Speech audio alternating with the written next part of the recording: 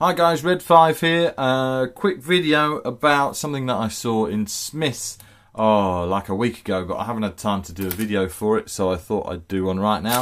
And that's this. They're doing these exclusive poly bags um, of various sets. Uh, they've got Lego City, they've got Galaxy Squad like these two, um, they've got Lego Star Wars like this, um, and they are were they 350 or 450? I think they were 350.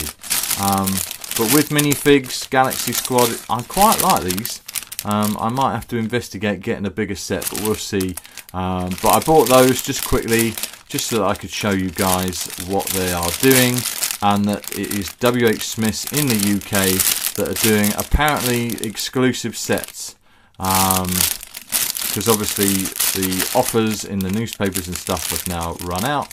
Um, although I did hear a whisper that maybe the Daily Mail is going to be doing some uh, minifigs with um, uh, with Lego in the future, but I don't know. But I thought, you know what, you guys out there who love your Lego, I thought I'd buy these and I'd show you them um, so that you could run out and get some yourself if you fancied. I like that. I like that Moonwalker. Um, and I'll make them up and I'll show them to you in another video. But this is just a quick promotion for the Lego exclusive poly bags from Smiths. Alright guys, thanks for watching, rate, subscribe, comment, and uh, I'll see you in the next one.